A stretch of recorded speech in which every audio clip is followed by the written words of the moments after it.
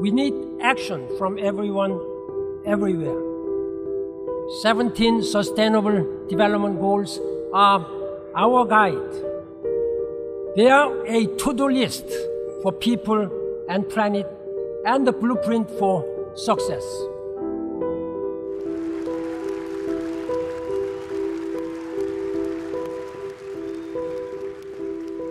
What was once unthinkable has now become unstoppable.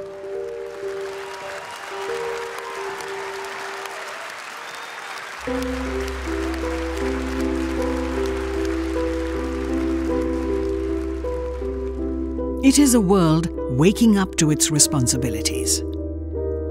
As we follow these developments from New Delhi, we realize afresh each time our own responsibility towards helping India and the world move closer to these goals.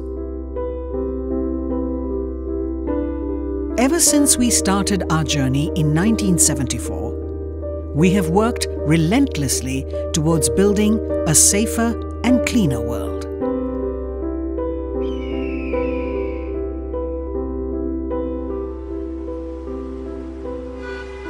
Today we know the challenges are growing taller, even as time runs out.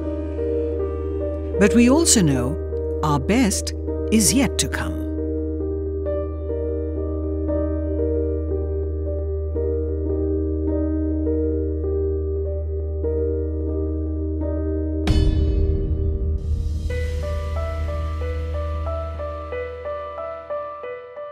Our efforts to develop clean lighting and cooking solutions have impacted nearly 4.5 million people who lived without electricity in rural India and parts of Africa. Communities whose incomes have improved with access to energy and who can now breathe clean indoor air.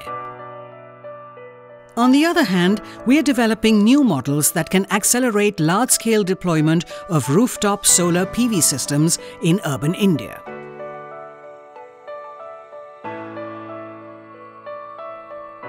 Nearly 600 small and medium enterprises across the country have adopted a range of energy efficient technologies and practices promoted by us.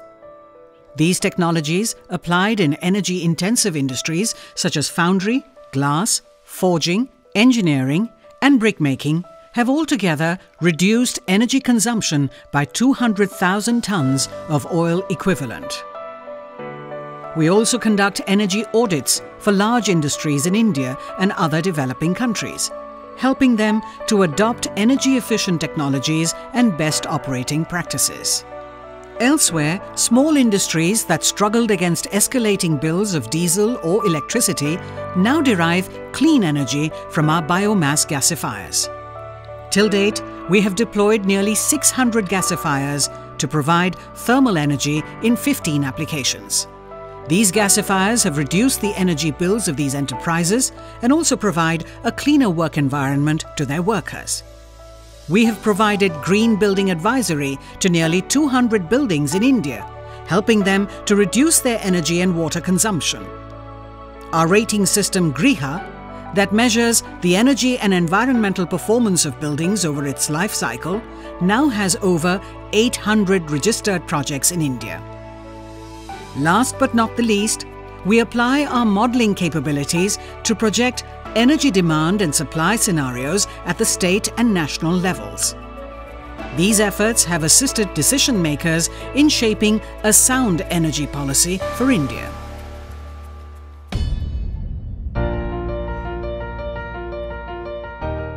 As our cities choke with polluted air, we're applying state-of-the-art models to analyze current and future air quality scenarios in hotspots like New Delhi and Bengaluru. These models help us in assessing the success of the measures that are being made to improve air quality. In Karnataka, along the polluted stretch of the river Kali, we have provided clean drinking water to local communities with a simple technology called riverbank filtration. In 24 locations across the country, we have deployed a technology called TEAM that converts large quantities of food waste from canteens and townships into biogas and manure. Our mycorrhizal technology uses a biological process to convert wastelands into green belts. In several locations in the country, we have used mycorrhiza to reclaim land that was left severely degraded with toxic industrial waste. Nearly 70% of oil refineries in India use our Oil Zapper technology. Oil Zapper, a bacterial consortium that degrades crude oil and oil sludge, has reclaimed more than 100,000 hectares of oil contaminated soils in different parts of the country. We're now engaged in cleaning up the massive oil spills in Kuwait, the first of its kind large scale bioremediation project implemented by India's biotechnology sector.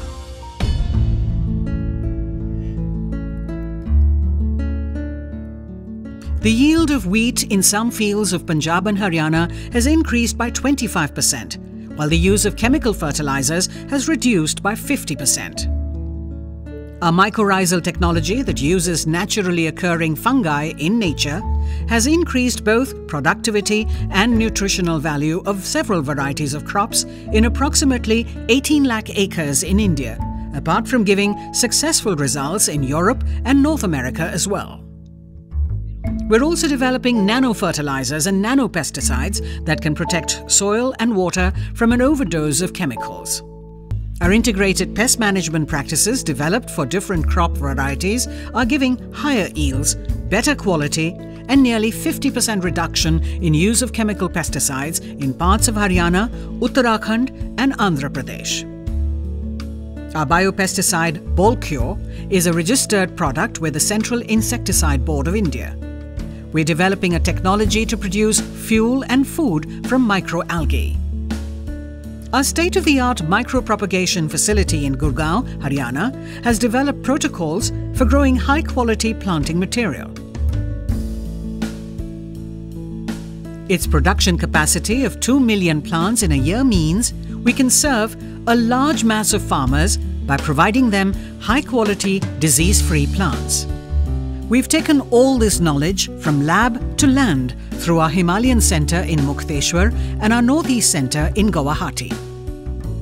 Small farmers in these regions have enhanced their average incomes by adopting new crop varieties, technologies, and practices shared by us.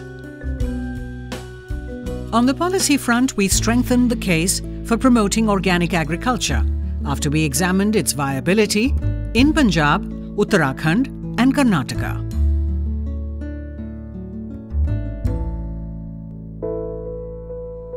Amongst a range of solutions for ensuring water security, we have developed our core competency in water auditing. We have helped large industries such as thermal power plants, heavy engineering, and railways to reduce water losses in the range of 20 to 40 percent. Through a modelling based work, we are developing a deeper understanding of the water energy nexus, particularly to support decision making for India's power sector. Across various states of India, we regularly train officials of water and sanitation departments. Amidst growing water stress in Uttarakhand, we're helping the state government in evaluating the impact of watershed programs in nearly 1,600 villages across the state. We're also among the few research institutes to set up two glacier monitoring observatories at nearly 4,000 meters above sea level, one each in western and eastern Himalayas. This research will improve our understanding of how climate change is influencing melt response of the glaciers and its consequent impact on river runoff patterns.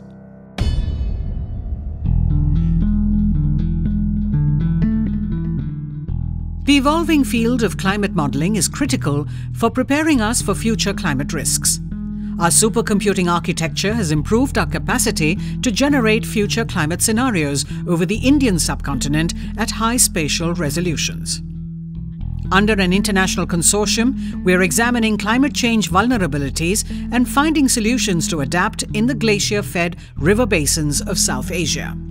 In the coastal cities of Vishakhapatnam and Panaji, we worked with the city governments to create spatial inventories of infrastructure assets that are likely to be vulnerable to sea level rise or cyclonic storms. Further, we demonstrated a management system that can help city authorities in safeguarding their infrastructure and services from climate risks. For industries, we have assisted in building a framework that helps them to measure and manage their greenhouse gas emissions. We're currently engaging with nearly 40 leading corporates, enabling them to become more profitable and sustainable business organizations. In the forestry sector, we continue to assert the role of forest communities in mitigating climate change. Working with a number of state forest departments, we have created methodologies for forest dwellers in India to receive carbon based financing from developed countries.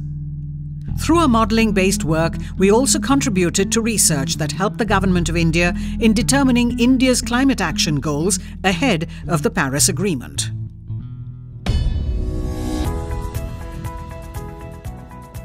While we constantly endeavour to create new knowledge, we strive just as much to spread this knowledge far and wide. Recognizing the youth as an important constituency, we have reached out to nearly 25,000 schools and 10,000 colleges in India through various programs on environmental sustainability. In higher education, TERI University has conferred postgraduate degrees on more than 1,300 students in various disciplines of sustainable development. Every year since 2001, we've been convening one of the largest global summits, the Delhi Sustainable Development Summit, now elevated to the World Sustainable Development Summit, to gather the finest thinkers of the world to share and reiterate their messages on sustainable development. Our books, journals, magazines, and films help us in reaching the unreached. In all our pursuits, our most valuable resource is our human capital. We are a workforce of nearly 1,200 people comprising scientists, sociologists, economists, and engineers, among several other disciplines working together to design holistic solutions. We're headquartered in New Delhi, but our messages spread across India through our regional centres in Bengaluru, Guwahati, Mumbai, Panaji, and Nainital. Beyond India, we've taken our solutions to countries of Latin America, Africa, South Asia, Southeast Asia, and small island states. Into the fifth decade of our journey now, our commitment to put our research into practice is stronger than ever. We're determined to take our solutions to as many homes, industries, farmers, and policymakers as is needed to ensure a safer and happier future for all.